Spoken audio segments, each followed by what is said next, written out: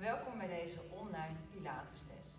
Jeanette gaat de oefeningen uitvoeren en je zal voor mij alleen mijn stem op de achtergrond uh, horen. Ook hier proberen we zoveel mogelijk afstand van elkaar te houden en alle regels die opgesteld zijn door de overheid te respecteren. Uh, wat je nodig hebt is eigenlijk een matje. Als je die niet hebt, een dekentje of een handdoek. En, uh, en verder alleen maar jezelf. Veel plezier, geniet van deze les.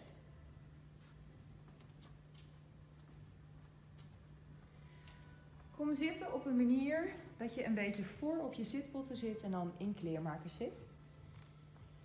En dan strek je je rug recht omhoog. Maak je hele ruggenwervels lang.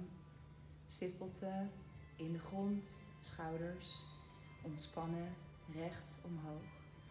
En dan begin je met kleine bewegingen te maken met je hoofd. Je beweegt je hoofd als een nee-beweging van rechts naar links. Neem een rustig tempo, voel de strekking in je nek.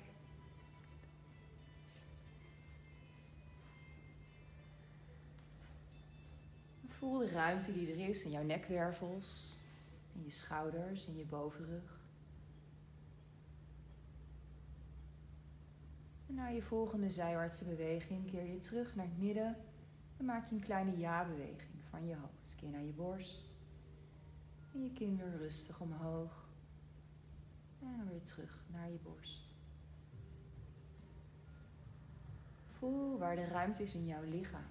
Waar is opening en waar is een kleine beperking waar je misschien rekening mee moet houden.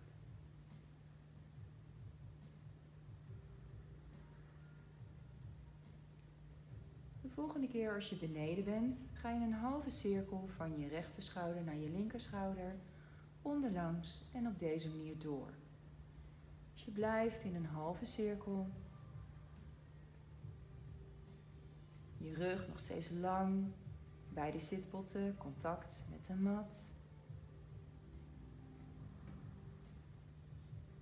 En de volgende keer, als je in het midden bent, blijf je weer in het midden en lift je hoofd neutraal. En beweeg je je schouders in kleine cirkels van voor naar achter. Uiteindelijk maak je de cirkels iets groter, gaan je ellebogen mee omhoog, gaan je schouders, je armen, dus dat hele lijf. Voel je schouderbladen, voel je bovenrug, je borst. En dan maak je de cirkel weer kleiner. En dan cirkel je de andere kant uit. Dus achter omhoog, voor omlaag. Uiteindelijk hier ook iets groter. Ellebogen mee, schouderbladen. Weeg je hele rug. Bovenrug, onderrug blijft stabiel. En maak je weer kleiner. Tot je uiteindelijk met je handen op je knieën bent en je schouders weer stil zijn. Dan maak je de rug bol. En je maakt de rug hol. Je komt weer iets voor je zitbotten. Strek goed op en dan maak je hem weer rond. Achter je zitbotten, je staartbeen kantelt naar voren. En je komt weer rechtop en je staartbeen kantelt naar achter. Dan herhaal je nog twee keer. Als je strekt, goed, zoek je goed de lengte in die ruggenwervels. En hier de ronding. Nu we meer zitten, is het belangrijk dat je goed je rug activeert, buikspieren, je koor aan het werk zet. Dan zet je je voeten ongeveer matbreedte voor je op de grond. Je handen zijn achter je en dan beweeg je knieën in een rustig tempo van rechts naar links. Voel de beweging in je rug, de beweging in je heupen. Misschien trekt er iets in je liezen omdat je zoveel zit of meer zit. De situatie is anders nu. Dus daar moeten we ook met de oefening rekening mee houden. En uiteindelijk stop je weer in het midden.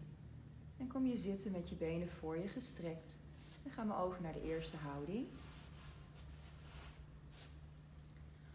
Maak je benen lang, strek ze goed uit, je tenen van je vandaan.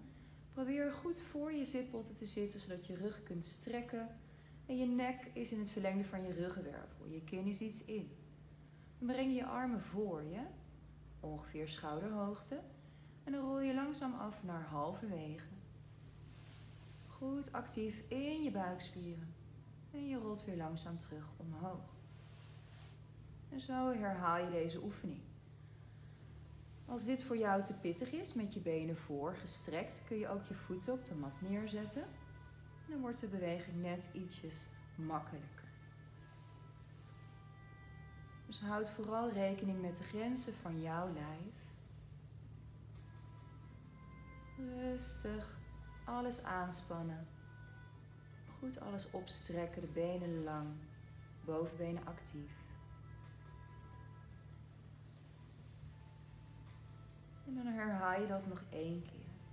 Dus goed de spieren van je koor aanspannen. Hele buikspiergebied naar elkaar toe en naar achteren duwen.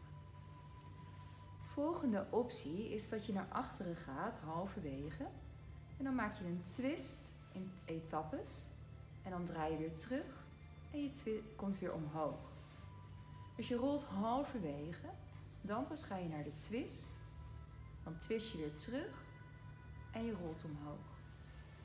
Dus eerst naar achter, dan twist, dan terug en omhoog.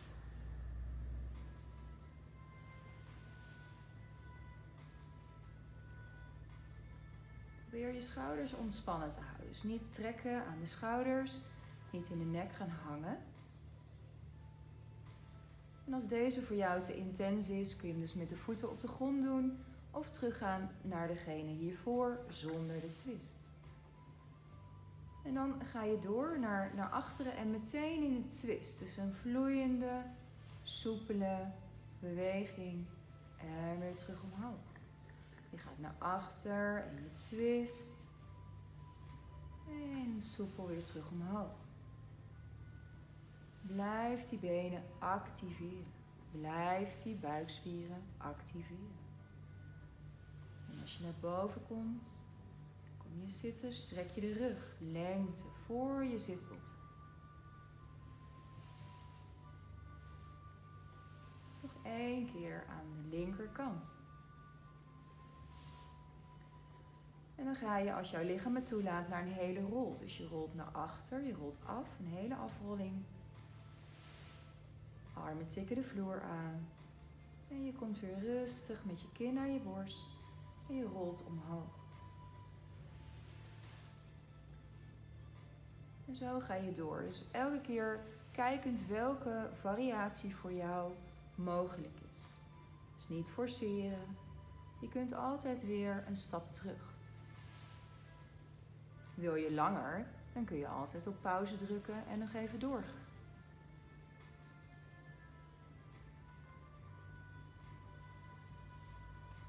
Laatste herhaling. Voor nu, voor ons.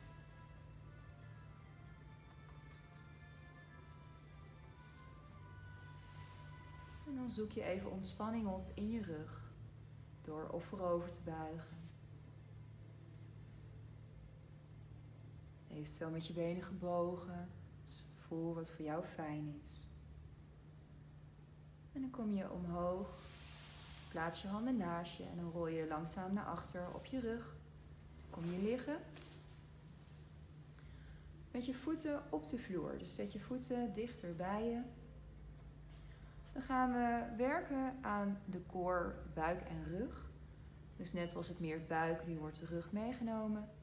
Je kantelt je bekken, je duwt je staartbeen van je af en je duwt je rug tot aan je middel heel hard naar beneden in de mat.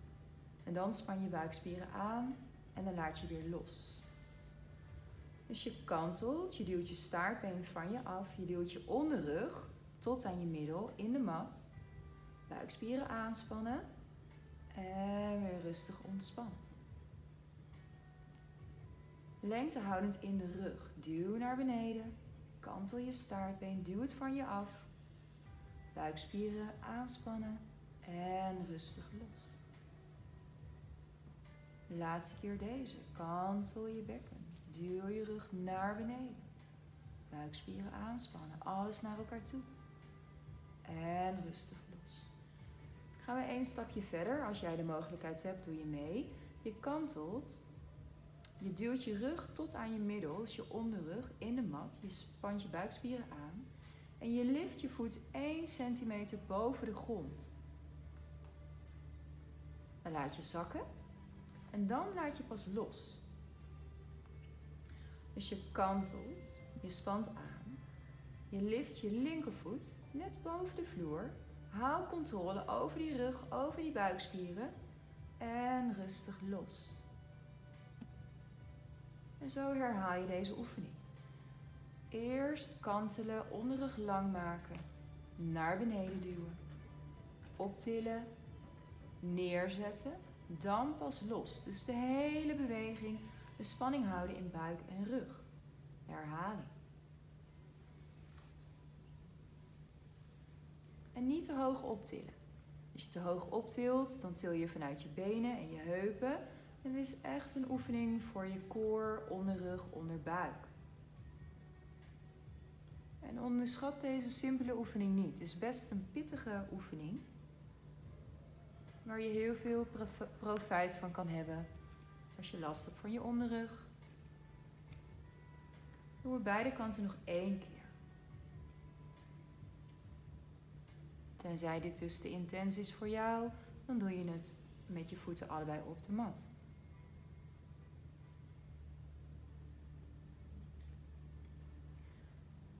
Dan eventueel één stap verder is kantel je bekken, duw je onderrug, buikspieren vanuit je buitenkant helemaal naar elkaar toe duwen naar het midden. Twee voeten optillen, net boven de vloer. Hou die koor stabiel, hou je onderrug stevig. Laat je zakken, hou vast en dan pas los. En die herhaal je. Of je keert terug naar de stap hiervoor, als dit voor jou te intens is.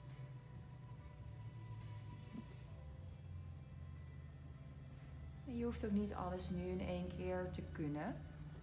We hebben er helaas, of misschien ook wel beter, voor onze gezondheid een paar weken de tijd voor om dit elke keer te herhalen.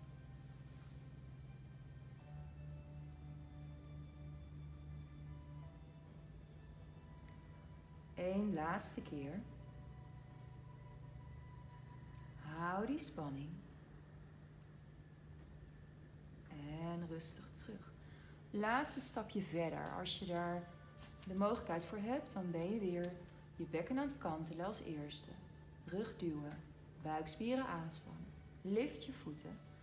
Beweeg niets in je bovenbenen, maar strek je knieën in de hoek waar je benen nu zijn. Strek je benen uit. Buig je benen weer. Rustig zakken, hou de spanning. Rustig neer. En weer. Dus je kantelt je bekken. Je duwt je rug in, je buik aanspannen. Je lift je voeten net boven de vloer. Je strekt je benen uit. Verander niets aan de stand van je bovenbenen. Buig je benen weer. En laat rustig zakken. Deze doen we nog twee keer. Het is een behoorlijk pittige oefening. Dus kijk of die voor jou geschikt is. Hou de spanning op je koorspieren. Misschien voel je het ook heel erg werken in je buikspieren. Dat is prima, dat is oké.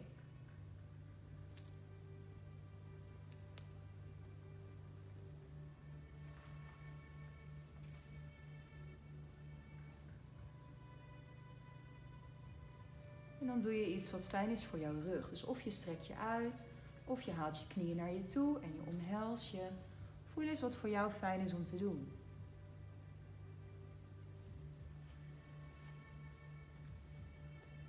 Misschien wil je heen en weer wiegen met je knieën heen en weer, dat je onderrug masseert.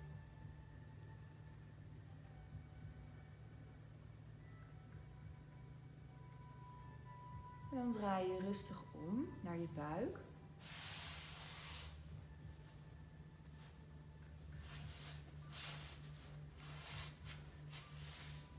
Zoek je eerst de lengte in je benen. Dus je voeten goed uitstrekken, je bovenbenen wat aanspannen, maar je billen juist loslaten.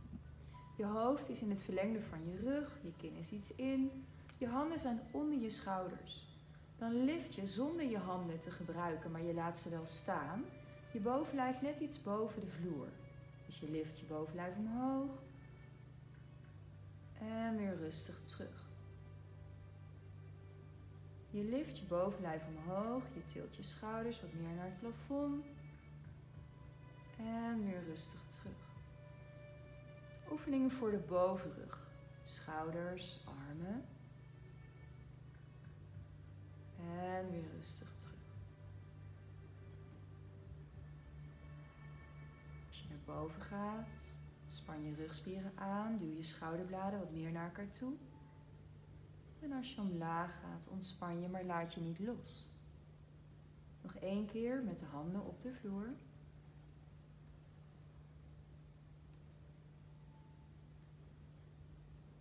En daarna ga je je handen lichtjes optillen.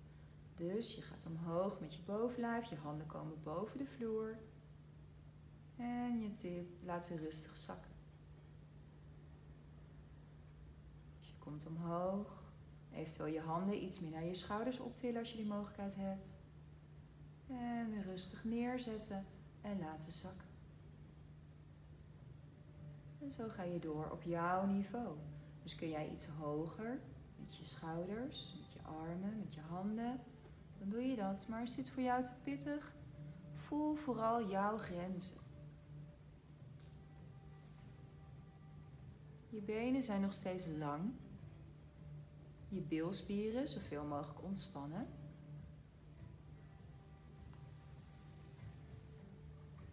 En vaak letten we wel op de ademhaling, maar nu is het vooral belangrijk dat je doorademt. Dus dat je je adem niet vastzet dat je je focust op de beweging in plaats van dat je de hele tijd bezig bent met hoe je moet ademen.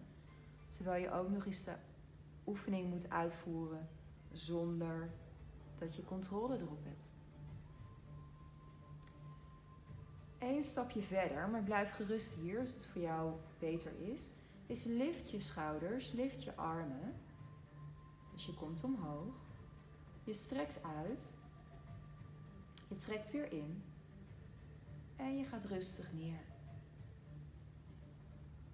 Dus je komt omhoog, lift je armen, je strekt ze uit.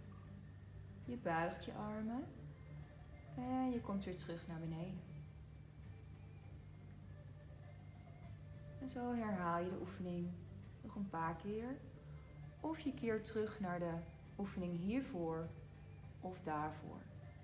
Dus met de handen op de vloer, eventueel niets optillen bewaak vooral jouw eigen grenzen.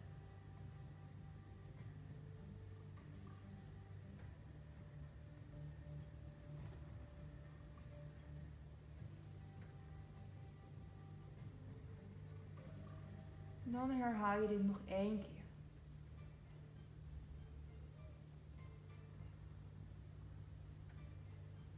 En dan kies je of je plat op de grond wil gaan liggen met je armen eventueel voor je of onder je hoofd of dat je zelf naar kindhouding wilt duwen. Om de ontspanning op te zoeken in je lichaam.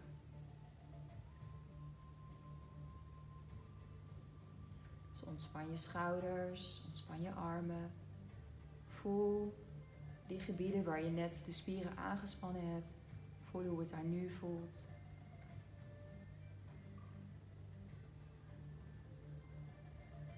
En dan duw je jezelf rustig naar kindhouding en dan gaan we over naar de cooldown.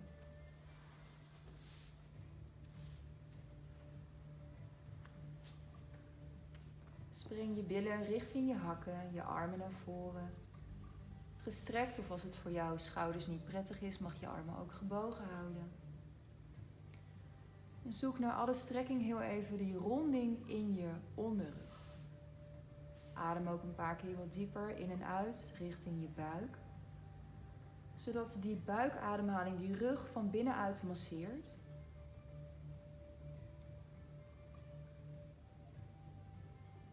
En dan kom je iets omhoog met je lichaam. Je rechterarm hou je voor je. En je brengt je linkerarm onderdoor. In een twist voor de bovenrug, schouders.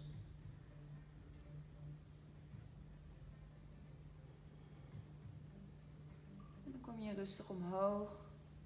En dan wissel je naar de andere kant. Je arm onderdoor. Misschien kun je hoofd op de grond laten rusten.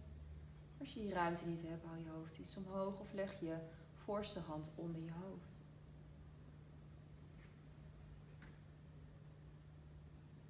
Dan kom je rustig omhoog. En dan kom je zitten. Met je benen voor je. Dan gaan we naar een zittende vooroverbuiging. Om de rek te zoeken in de achterkant van de benen, in de rug.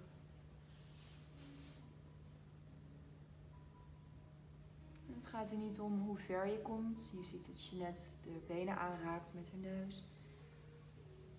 Als jij iets hoger moet blijven, omdat het beter is voor je lijf, vooral doen.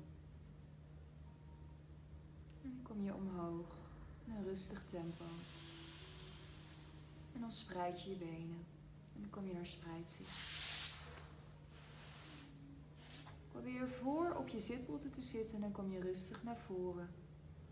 Ook weer met de grenzen van jouw lichaam. Dus waar kun je heen?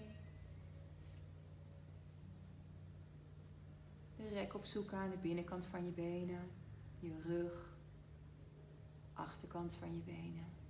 Misschien voel je je schouders, je nek. En dan kom je weer rustig omhoog. En dan kom je naar kleermakerszit. Goed strekking in de rug. Dan breng je je rechteroor en je rechter schouder. Voel de rek in je nek, over de schouders. En hoofd terug naar het midden. Andere kant.